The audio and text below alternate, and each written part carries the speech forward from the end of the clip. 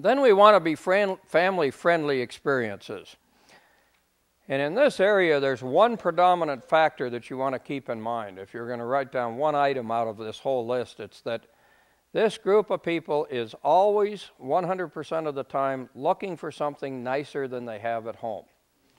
So if they have a nursery at home and you've got a nursery that's not as nice as that nursery, they're not coming back.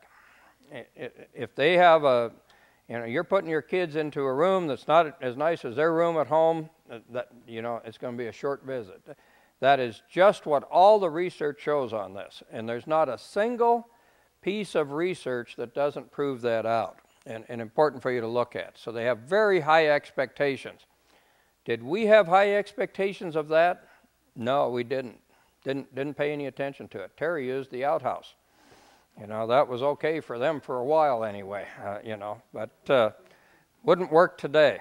Uh, and uh, so uh, we uh, we do have kind of a demanding group. children and youth spaces have to be better. I'm going to use Terry's church as an example again, and, and him and I have had this conversation.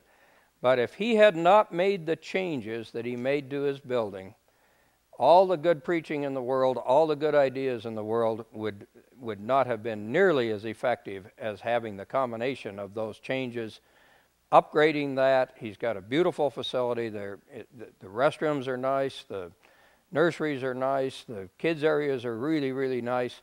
That's the combination that works. And you can do it in existing buildings and renovate and make that happen. You can do it in new buildings. You can do it in big boxes. You can do it in a lot of different ways. So, uh, this is a children's area. And, and, and one of the things I tell people is the children's area that was the hallway with eight classrooms off of that hallway is a thing of the past. It, you know, now we have a children's main gathering area, and they'd come out of that main gathering area where they have these kind of things happening, and they go into classrooms for a period of that time, but they do all come together at one point. Uh, this might be used for first to third graders for 45 minutes, and then they go back into classrooms, and the other people come out of those classrooms, and it's used for fourth to sixth graders. So it you, you multi, it isn't just a one-time thing in terms of what it is. Uh, those wall coverings that you see on that particular wall are just taken from a postcard that we had blown up into wallpaper. Uh, that used to be $10 a square foot. Today we get it for about 250 And so that's a doable event for most churches. It's not a big item in terms of, of what you're trying to do. Uh, these are uh, uh, just some different sets and different ways of uh, doing things when you're having puppet shows or any of those other things. That hallway in the upper left just shows what you can do with color. Uh, color doesn't cost much. You can, but you know, I, I wouldn't put that green in my house, but it works well in, a, in, in the church. The kids are attracted to it. Uh, when we put windows from the hallway into the kids' areas, we typically drop them down to their level. You know, on their level, they're looking at a wall. We're looking at a window up here. And, and we'll cock it 45 degrees so it's not in there straight. And, uh, and it just gives that, that feel of, of what they're trying to do. Uh, and, and give them some sets. Uh, as they get older, you increase the amount of things that could happen to them and, and uh, create just a little bit more chaos in the space that, that exists. Indoor playgrounds. Uh, we're putting these in both children's areas or in third places. we we, we actually use them in both places, not, not, not both at the same time, but one or the other uh, because they work well in a third place while the parents are, in, uh, are sitting around talking and enjoying. They can see their little kids out there doing something, and they still use them during the, during the time with the church, but they use them also back in the children's areas very effectively. We are hardly doing a church that doesn't put one of these in. I, I, I actually don't think we are doing a church today uh, that is not putting an indoor playground in. Uh, because they make so much money. Uh, this one is not an expense to your church, this is an income producer. Uh, soon as you put one in, you don't have to advertise this, you don't have to do anything else with it. What happens? Pe- people come and say, Can I have a birthday party there for my four year old? And guess what's happening? They're bringing 30 other people with them that did not, don't go to your church. for a birthday party at your church. Uh, we've got a church that's 10 years old, has received over one half million dollars of income from using that for parties at two to three hundred dollars a crack. Church in Joshua that we did, that's how they grew the families into the church. It wasn't putting a sign out front that said, Welcome families, please stop in. You know, where are you at?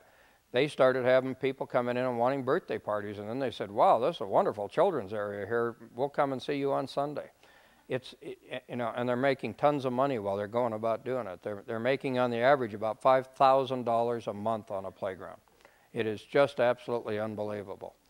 Uh, we highly recommend that you do your youth area or your children's areas as daycares. Uh, whether you run a daycare or not is not important. It's probably better to lease it, but uh, but use the building effectively. Uh, we just leased a uh, helped the church lease a, uh, their children's area for a daycare in Ogden. They're getting $6,800 a month from the daycare facility to use that.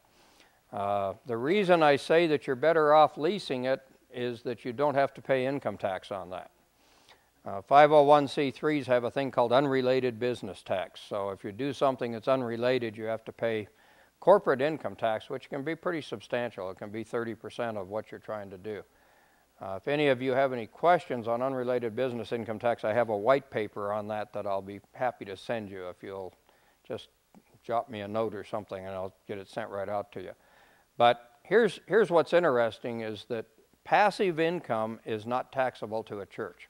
And I'll just explain this very quickly. So passive income is things like renting something to someone. You could rent uh, your office space to me as an architect in a for-profit business, and you would not pay income tax on that because it's passive income. It's rental of space. So when you rent to a daycare, it's passive income. But let's assume you run the daycare. If you run the daycare, and that's not passive income anymore, and all the kids that come in there are members of your church, you do not pay taxes on that. But if one child comes in there that is not a member of your church, you do. And, and almost all daycares are not run for your church, it's run for the community. And, and now that becomes a taxable event. So, so uh, uh, kind of keep that in mind as you're there. But these become attractive for daycares. These become attractive for birthday parties. These become attractive for growing families in your church. Uh, and this gets off this subject just a hair, but we many times don't have churches buy this equipment. Uh, we many times do not have that as part of the budget of the program that's there. A playground like this can be thirty or forty thousand dollars, and and uh, and the reason we don't have it in the church budget is somebody always says, couldn't we use thirty or forty thousand dollars better some other way than a playground for our kids? I don't know why they say that, but that's what they somebody does always say that. And the fact is, it's probably the greatest ministry producer that you could possibly put in.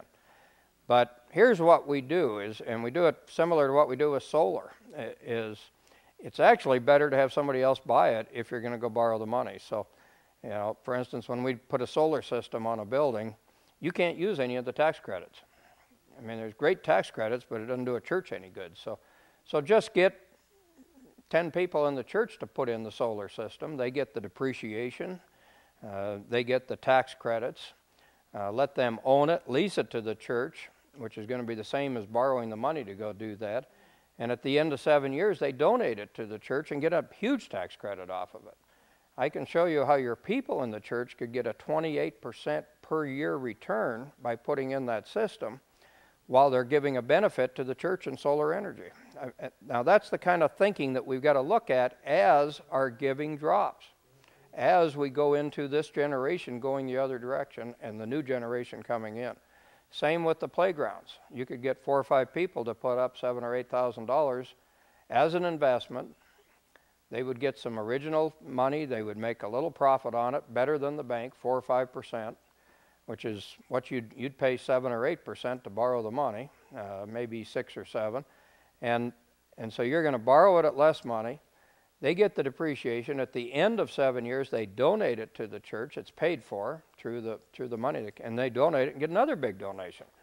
And again, they get a nice return off of what it is as private enterprise. So if you want to know more about that, I, we can talk later on in terms. But, but playgrounds have been a great thing. Uh, youth areas, specifically for youth, is important. Uh, basically, uh, those have been in our buildings for a long time, but not done as well as they could be done. Uh, putting in separate entries, a uh, separate way for them to get into the building than through all the other spaces that other people have is extremely important to them. Uh, kids are way more likely to bring their friends to church and to, to the youth area if they don't go through the main church entry. If they, you know, come in some other way in terms of what it is, and, and it's still attached to the building and part of what it is.